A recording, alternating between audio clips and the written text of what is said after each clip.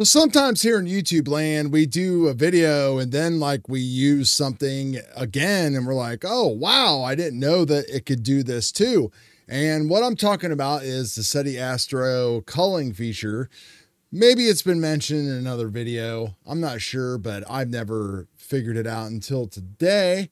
So I'm Chad. This is the Easy Astro Images channel. I'm going to play with some photons today. Looks like it's going to be a clear night things are kind of dissipating and we've got a few things to the scope that we need to do.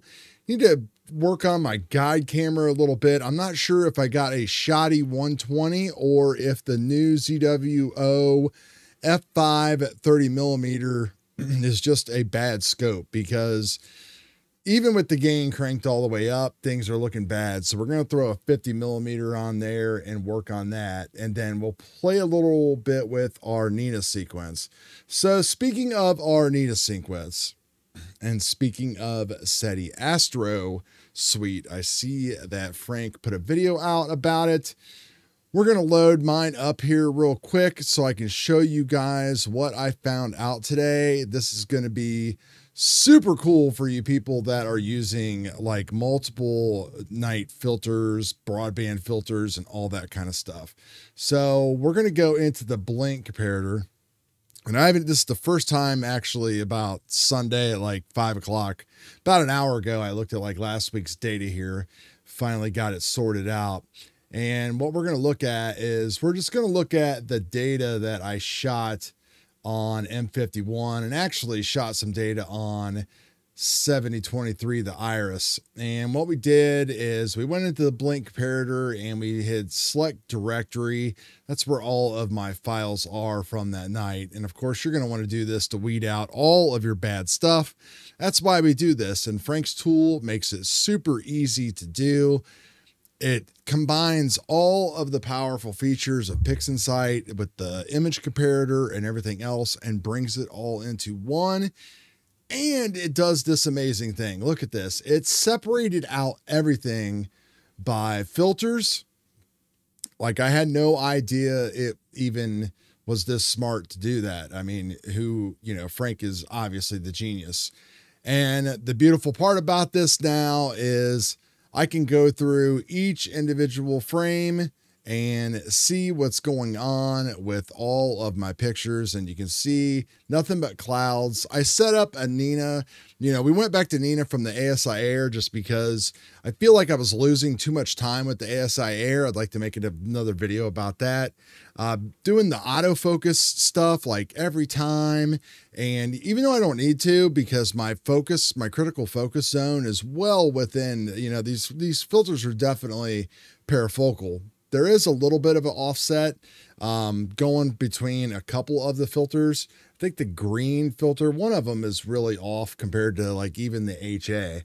But if we look at um, all this stuff here, and then we click on the show metrics, you know, this is where it's great. You know, it's going to break it down, and it's obviously the show metrics is not going to be as handy as possible. Um, you know, I know, oh, wait a minute. Look, you can do it. Look at this shit. So this is all okay. Let's look and see at my green. Oh, Frank, you're just too good to us, man. If you are not a channel member of Frank's, like you need to go over there and support him right now. You can also support me too by clicking the join button down below. But look at this. So now we can go through and look at every one of our filters, which these all should have pretty much the same type of attribute attributes to them because I have a Nina sequence set up where it shoots L, R, G, B, H, A, and um, like I think I shoot five, five, like you know, whatever and then it dithers and then it does it all again. So like that way I'm always capturing in a perfect world equal data, but you can see that I'm shooting more HA and more luminance. So I'm getting all my ratios like all together, like all in the sequence. And we can see exactly how awesome everything is here. And I think it was either this one or the iris where Yeah, there's obviously HA in M51, duh. So don't have to worry about that. But you can go through here. Obviously, you can zoom in, take a look at all of your stuff, even though you don't need to because Frank has already done all this. But you know, this is another cool tool, uh, thing that I want to show you real quick is that you know, you just don't know what's out there until it's out there. You know, we, we assume shooting an LRGB that HA pretty much every is everywhere. And it is everywhere. If you look at like the Stellarium forecast, uh, you know, if you look at one of the Stellarium maps or whatever, and you use the thing that I've done uh, that shows you like the red view. So this is the Iris Nebula. So there's my blues, there's my greens, and you know, this is all pretty much data that we're just going to toss. I'm not sure exactly what's going on with these HAs right here. Like, you know, the, there's clouds that come in right here, and you can obviously see that there is just a little bit of HA in there when things were completely, you know, whatever. But I almost feel like, let's see, one, two, three, four, five, and then it would have switched one.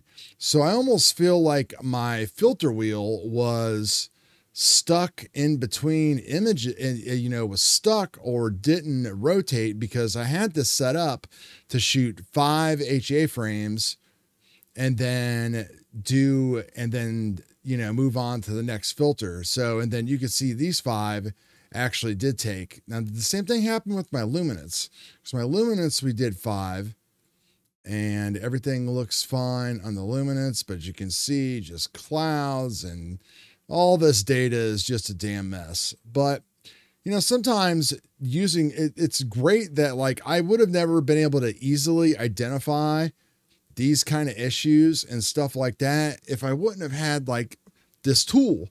So a lot of people probably don't do stuff like this. They might just go through and weed out satellite trails and this and that and everything else. But using tools like this is just indispensable. Like Frank, this is just you you should be like charging for this. Like I know you're way better than that, man, but like, you know, this is a freaking this is literally a service right here. And again, it's all busted out by filters and just in case you don't know how to use this, uh, you know, let's say that like I want to eliminate these down here. Sometimes grabbing onto these uh, freaking bars are kind of tough on like I think they work better from the top down versus the bottom up. I don't know if that's just like a me thing or a freaking I don't know, but that I noticed that last time.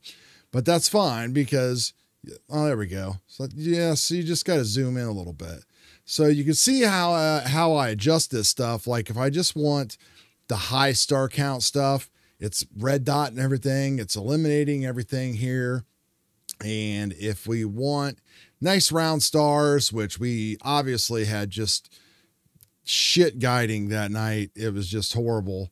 You know, well, let's just get rid of that. And, you know, now we've got, you know, pretty much one frame on that, uh, that luminance that actually would be still not even half decent. Like that's horrible eccentricity, which eccentricity is, you know, how wide your star is compared to how long or how long it is compared to wide, whatever the hell it's called. So anyway, the tool rules. We found something else that we can use it for and it, hopefully we can start to capture some data. Luckily, I just put the telescope at the end of the night to go after the iris because M51 is kind of coming down really quickly and it's going to be behind my house. So I want to try to collect so as much data as I can on M51 to try to get another galaxy done. I really like doing that, adding HA type of stuff. And then switch over to the iris. And the reason why I want to do the iris is because it's nice and zoomed in now with the RC6 with the RC6 and we're doing LRGB so we can pull out, you know, cool color. I want to see how different it is compared to some of my one shot color stuff that we've done in the past. So a lot of different stuff in this video. I don't know what I'm going to call it, but we'll figure something out. So we'll talk to you guys later. Peace.